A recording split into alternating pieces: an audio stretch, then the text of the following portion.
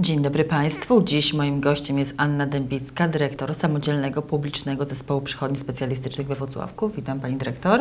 Witam Pani redaktor. Pani Dyrektor, e, mija e, rok e, i pewnie jak każdy rok w służbie zdrowia nie był to rok łatwy, bo trudno znaleźć przykłady czegoś no, nadzwyczajnie dobrego w tych wszystkich placówkach, które muszą zajmować się ochroną naszego zdrowia.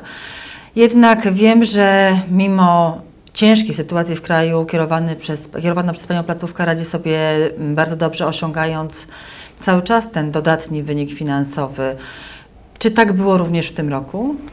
Y, muszę powiedzieć, że ten rok był wyjątkowo trudnym rokiem pod względem finansowym w naszym zakładzie, y, ale ustawa o y, Y, dotycząca naszej działalności obliguje nas do tego, żebyśmy po prostu wypracowywali ten dodatni wynik albo chociaż zerowali zakład, nie generując długu. Mogę powiedzieć, że tego długu w dalszym ciągu nie mamy i y, zanosi się na to, że na koniec roku niewielki wynik finansowy będzie również, co jest bardzo trudne w samodzielnym publicznym zakładzie, y, ponieważ 98% środków wpływających do naszej firmy to są środki z Narodowego Funduszu Zdrowia. Czyli nie macie dotacji? Z... Y, mamy dotacje wyłącznie na remonty i modernizację zakładu z organu założycielskiego. Natomiast na bieżącą działalność? Na bieżącą nie. działalność musimy środki pozyskiwać sami. To są głównie środki y, ze składek ubezpieczenia zdrowotnego przekazywane nam przez Narodowy Fundusz. A ponieważ w kraju jest bardzo duże bezrobocie, składka spływa coraz słabiej, ludzie tracą pracę, w związku z powyższym tych środków jest coraz mniej i coraz trudniej jest zarządzać taką firmą. No właśnie, ale mimo tych trudności dokonaliście ważnych dla pacjentów zakupów inwestycyjnych. Jakie to te zakupy są tak samo ważne dla pacjentów, jak i dla pracowników, bym powiedziała, w naszym zakładzie, dlatego że y, przede wszystkim staramy się modernizować firmę i utrzymać ją y, w dobrej kondycji, y, zarówno kondycji takiej dotyczącej zaopatrzenia w sprzęt, jak również kondycji budynków. Ja zakład zostałam z 6,5 milionowym długiem, w związku z powyższym nie bardzo było możliwości inwestować, cokolwiek kupować do firmy, ponieważ no, tych pieniędzy ciągle brakowało i ten dług trzeba było spłacić. W tej chwili mamy taką sytuację, że e, możemy inwestować, e, natomiast no, środków też ciągle jest za mało, ale pozyskujemy dodatkowe środki z innych źródeł i na przykład w tym roku udało nam się pozyskać środki z mm, ochrony środowiska podpisaliśmy umowę z Funduszem Ochrony Środowiska w Toruniu e, na termomodernizację obiektów, w którym zlokalizowane są bardzo ważne komórki dla zakładu, e, poradnia onkologiczna, pracownia radiologiczna, e, laboratorium analityczne. To jest tak zwany budynek E, mieszczący się od strony ulicy Wyszyńskiego. On stoi za tą obecną budową, która jest prowadzona przez Urząd Marszałkowski. Wykonaliśmy tam docieplenie dachu, wymieniliśmy wszystkie okna na nowe na PCV, zrobiliśmy Zrobiliśmy nową elewację. Również pracownicy tutaj dołożyli swoje starania y, w polepszenie y, funkcjonowania tego obiektu i na przykład w pracowni rentgenowskiej, tu pani doktor Wszelak y, pozyskała dodatkowe środki. Sponsorzy zakupili nam meble, tam obiekt został w środku w wielu miejscach też malowany, także to wygląda w tej chwili zupełnie dobrze i dobrze funkcjonuje. W obiekcie jest cieplej, co będzie, że tak powiem, pozytywne i dla pacjentów, i dla pracowników, którzy tam pracują zupełnie budynek inaczej wygląda.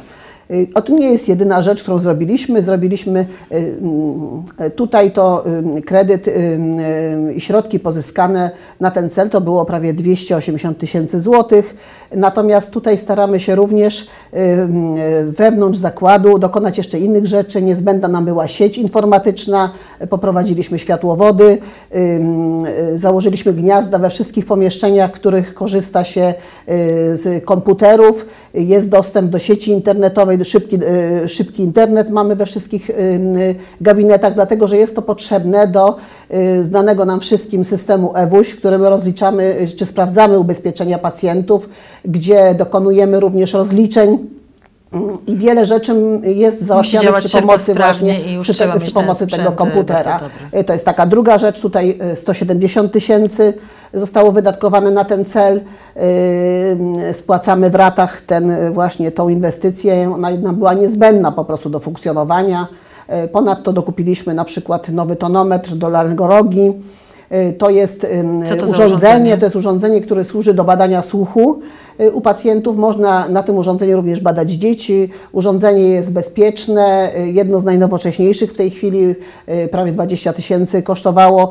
Y, y, Szybkie badanie, w ciągu dwóch minut y, badanie się wykonuje y, i tutaj i dorośli, i dzieci na tym aparacie y, mogą z badań korzystać. Także tu takie rzeczy niezbędne dla firmy jakby zostały, zostały zakupione czy zrobione. A jakie plany inwestycyjne macie na rok przyszły?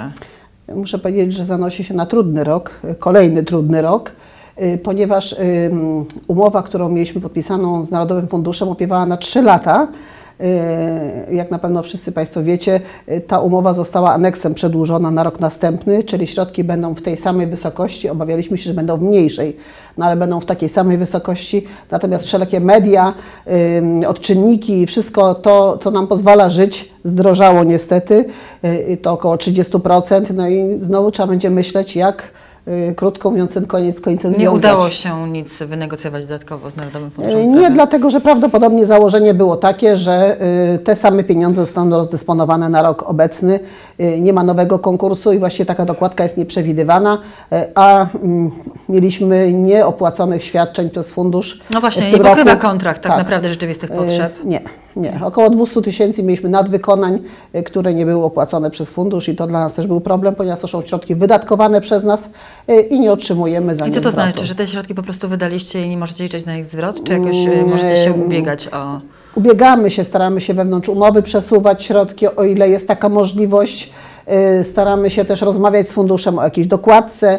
Y, Mieliśmy tam niewielkie dokładki w, ciągu roku, ale to były naprawdę takie, bym powiedziała, śladowe, które niewiele zmieniły w sytuacji i zakładu, i pacjenta, y, który no, musi oczekiwać y, na świadczenie ileś czasu. Y, I generalnie jest tak, że tych świadczeń jest za mało w stosunku do do zapotrzebowania. potrzeb. Czyli y, w to, że kolejki znikną w przyszłym roku nie mamy co No raczej, raczej y, w- to wierzyć nie można, ponieważ no, y, środki, które dostaniemy, y, nie będą w stanie pokryć zapotrzebowania społecznego na świadczenia, których udzielamy. A proszę powiedzieć, y, na, jaki, na jakie świadczenia tych potrzeb jest dużo więcej aniżeli środków To jest, szczególnie? bardzo, to jest bardzo różnie. Y, To wygląda też od, y, decyduje też o tym zachorowalność i zgłaszalność pacjentów.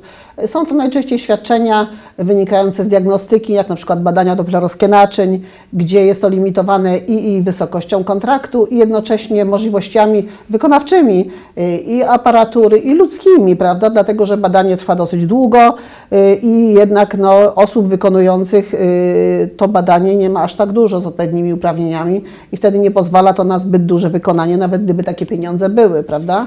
Związku z tym tu pacjenci, jak powiedziałam, najdłużej właściwie oczekują. Y, Też oczekują pacjenci na świadczenia, które powinny być szybciej y, udzielone, jak na przykład świadczenia onkologiczne, ponieważ nieopłaconych świadczeń onkologicznych mieliśmy około 20 tysięcy w ostatnim czasie, y, świadczenia kardiologiczne, świadczenia alergologiczne.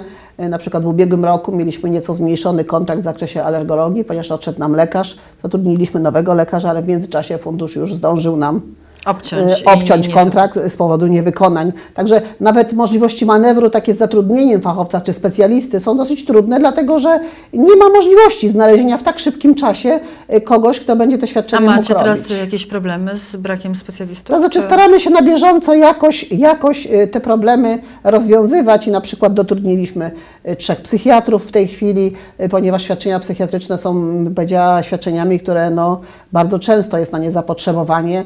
Y, Dotrudniliśmy również y, w takiej dziedzinie jak kardiologia lekarza, y, w związku z tym myślę, że też y, tę dostępność do świadczeń się poprawi. Staramy się tam, gdzie to jest możliwe, no jednak szukać tych lekarzy w całej Polsce.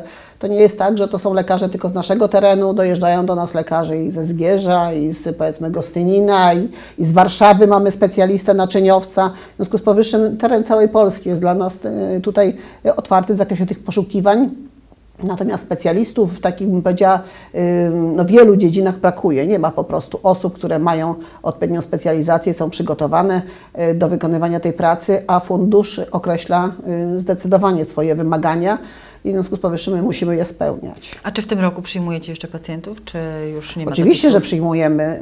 Y, Nigdy nie jest tak, że my limit nam przyznany na rok wykonujemy w ciągu powiedzmy półrocza. Planujecie Staramy się tak, go dzielić cały na cały rok. Y, czyli w każdym miesiącu określony limit punktów w danej poradni jest przyznany y, i będziemy się starali do końca roku jednak pacjentów, y, tak jak to harmonogram wskazuje, przyjmować, tak żeby oni nie oczekiwali w tak długich kolejkach. Zapisujemy już na rok następny również do lekarzy w kolejki pacjentów, tak jak ustawa tego wymaga. Dziękuję serdecznie za rozmowę. Dziękuję bardzo. Moim i Państwa gościem była dyrektor Anna Dębicka, samodzielny publiczny zespół przychodni specjalistycznych.